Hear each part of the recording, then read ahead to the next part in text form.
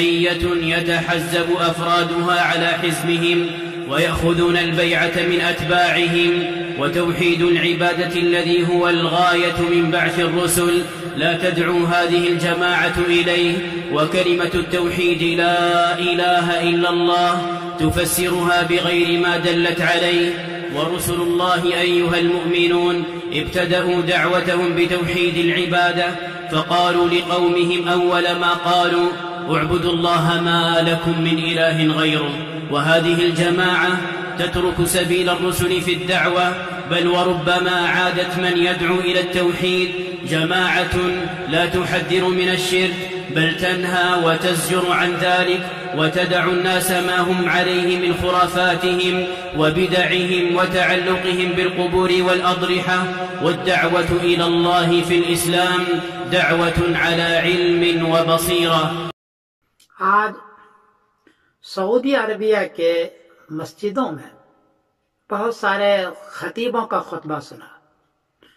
जो वहाँ की हुकूमत ने ये तय किया था कि तबलीगी जमात के खिलाफ आप बयान करेंगे और उनकी चार बातों को खास तौर पर ज़िक्र करेंगे।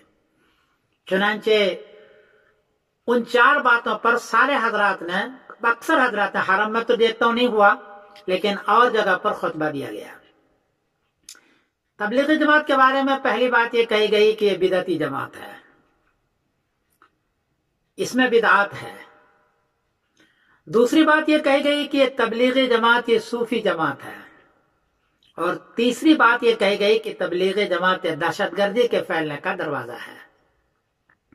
और चौथी बात यह पूछी गई है कि तीन चिल्ला और चार, तीन दिन और एक चिल्ला और चार महीने आप कहाँ से लाए? ये चारों बातें उन्होंने ज़िक्र किया है। जवाबन अर्ज़ है कि तबलीगी जमात का जो अकीदा है, उनका अकीदा वही है जो अशरफ अली थानी रमतुल्ला का है, जो शेख जकरिया रमतुल्ला का है। उनका अकीदा क्या है? अगर आपको देखना है तो समरतुल अकायद मेरी खुद की किताब है, साढ़े तीन सौ अकीदे हैं। हर अकीदे के लिए दस आयत, दस हदीस लाया हूँ। सिर्फ़ हदीस। कौले साहबी, कौले ताबी नहीं लाया। और स्याह सित्ता से सिर्फ़ हदीस लाया हूँ। और उसमें सारा ज़िक्र किया गया है कि हमारा अकीदा क्या है, हम देवबंदियों का अकीदा क्या है, तबलीग जमात का अकीदा क्या है, इसमें ज़िक्र किया गया है। खास तौर पर कब्र के, जाकर के कब्रिस्तान पर हम क्या करेंगे? और क्या नहीं करेंगे, वो भी ज़िक्र है। कि वहाँ नबी करीम ने फरमाया कि जियारत कबूर करो तो जियारत कबूर हमारे यहाँ है, लेकिन अहल कब्र से मांगना जायज़ नहीं। अहल कब्र से सवाल करना जायज़ नहीं, बल्कि अहल कब्र के लिए सिर्फ़ इस्तफार करना और दुआ करना जायज़ है। ये सारा ज़िक्र किया और सारे अहादीस से मैंने ज़िक्र किया है। कैसे बिदत हो गए, तबलीगी जमात वाले। उसमें दूसरी बात क्या कि सूफी जमात है। हमारे यहाँ बैत करने का सिलसिला है, क्योंकि नबी करीम अलैहि के यहाँ ने बैत की है। लेकिन तसवुफ में सिर्फ़ इतना ही पीरी मुरीदी में है, जितना के उससे इसलाह होता हो। जैसे कि शागिर्द की की इसलाह होती है, उस्ताद से बस इतना ही है। बाकी कोई वहमी चीज़ दे दे, पीर दे दे या कोई चीज़ दे, ऐसा नहीं है, मैंने साबित किया अपनी किताब के अंदर। तो तबलीगी जमात, बिदात के अंदर बिल्कुल नहीं है। मैं, बल्कि बिदात से बहुत दूर है। उनसे तो हज़ारों आदमी का, लाखों आदमी की इसलाह हुई है। ऐसी जमात जिसकी जिससे इसलाह हुई हो, लाखों आदमी का पूरी दुनिया में फैले हुए हो, उसके बारे में सऊदी अरब में बाबा हुक्मनामा जारी करना और हुक्मनामा के साथ हर मस्जिद को उसके खिलाफ में बयान करवाना ये बगैर हमारे अकायद को देखे हुए और हमारे चीज़ों को देखे हुए है। उन लोगों ने कुछ का हवाला दिया। मुफ्ती अब्दुल अज़ीज़ का और हुसैन रहमत का, ये बुज़ुर्ग लोग हैं। लेकिन मेरा ख्याल है कि इन लोगों ने समरत अकायद नहीं देखी। ये लोग जमात में कभी गए नहीं। जमात तबलीग में बयान क्या होता है, इसको गौर से इन्होंने नहीं सुना। बार बार जो सुना, उसके बाद उन्होंने फतवा दे दिया।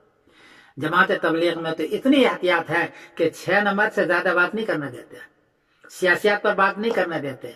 अकीदे पर भी बात इसलिए नहीं करने देते। अकीदा हर एक का अलग अलग है।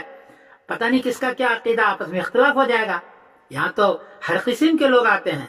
जमात तबलीग में शवाफा भी है, मालिकी भी है, हम्बली भी है, दूसरे मसलक के लोग भी आते हैं।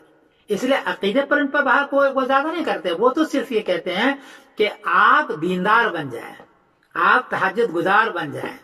आप अल्लाह के रसूल को रसूल के बात मानने वाले बन जाए। इसकी वो तबलीग करते हैं। इसको वो समझाते हैं। बाकी अकीदे के बारे में या मसले के बारे में कहते हैं, अपने अपने से पूछो। इतनी एहतियात वाली जमात पर इस तरह का इल्ज़ाम लगाना और इस तरह का बयान करवाना, मैं समझता हूँ कि ये अहले तबलीग पर बहुत बड़ा जुल्म मैं खुद भी तीन दिन जाता हूँ। मैं बयान करता हूँ। मैं जाता हूँ हर तीन दिन में। देखता हूँ वो क्या करते हैं। बाकी ये सवाल कि तीन दिन चिल्ला कहाँ से लाया? भाई, ये कोई हदीस से साबित नहीं किया उन्होंने। ये तो इतने दिनों में लोगों की इसलाह हो जाती है, बस। कुछ पल्ले पड़ जाता है, इसलिए रखा है। जैसे चश्मा इम्तिहान रखा है, साल भर में बुखारी शरीफ पढ़ाना रखा है, साल भर में कुदूरी पढ़ाना रखा है। ऐसे ये तीन दिन और चिल्ला है। ये बात आपका कोई सुन्नत या फ़र्ज़ या वाजिब नहीं है। इसलिए ये सवाल भी उनका गलत है। बाकी रहा कि तबलीगी जमात दहशत गर्दी फैलने का दरवाज़ा है यह बहुत बड़ा इल्ज़ाम है। बहुत बड़ा इल्ज़ाम है। तबलीगी जमात तो हमेशा दहशत गर्दी को रोकने वाली जमात होती है। कितने दहशत गर्दों को या ये कहिए कि शराबी, कबाबी को उन्होंने रोका और दीन पर लगाया। दरवाज़ा कैसे हो गया ये? हमारे यहाँ तो तफकद होता है। किले में उस वक्त हम नहीं जाने देते हैं जब तक के उसके सारे अहवाल को मालूम न कर लिया जाए। अगर उसको पता चल जाए कि किसी कौम का, किसी मज़हब का, या किसी मुल्क का खिलाफ ये बोलता है, या सियासी तकरीर करता है, नहीं करने देते। छह नंबर से ज़्यादा वो तकरीर करे तो उनको हम करने ही नहीं देते। सियासी बहस, अकीदे की बहस, मसले की बहस नहीं करने देते। ये जमात तो इतनी मोहतात है कि मसला भी बयान करता है और हदीस भी बयान करता है, कहता बुज़ुर्गों से सुना है, ताकि कोई हदीस गलत ना हो जाए। बुज़ुर्गों से ये सुना है। बुज़ुर्ग ये फरमाते हैं, इतनी एहतियात करता है इसलिए इन लोगों को चाहिए कि हमारे अकीदे को पहले जाना।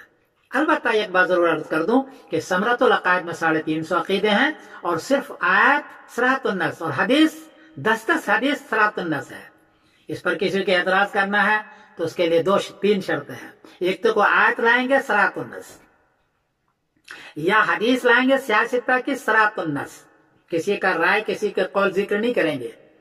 दो, और तीसरी बात को मुबहम जुमला है, अगर आयत का तो उसकी तफसीर तफसीर अब्दुल्ला इबिन अब्बास से हो, क्योंकि मैंने यही किया है कि अब्दुल्ला इबिन की तफसीर ली, बाकी किसी की तफसीर नहीं ली। तो इन शर्तों के साथ ये किताब लिखी गई है, और देवंदियों का, और तबलीगी जमात वालों का ये किताब है, और अकीदे के एक टेक्स्ट बुक गोया के है, जो हमने पेश किया है। मैं फिर गुजारिश करूँगा अरब के खतीबों से, अरब के जिम्मेदारों से कि हमारे तबलीगी जमात के अकीदे के बारे में फिर दोबारा सोचें, वो अकीदा नहीं है जो आपने बयान करवाया है और जितना बड़ा इल्ज़ाम डाला है। मैं सिमरजन कासमी बोल रहा हूँ, मानसर इंग्लैंड से। सलाम वालेकुम रहमतुल्लाहि वरकत बड़े अदब के साथ हम गुजारिश कर रहे हैं, क्योंकि आप बड़े हैं, आप हरमैन के लोग हैं, इसलिए बड़ी अदब के साथ वहाँ के ओलमा से, वहाँ के जिम्मेदारों से मैं अर्ज़ करता हूँ। और कोई गलती हुई है तो हमें माफ़ कर देना। সালাম আলাইকুম রহমতুল্লাহ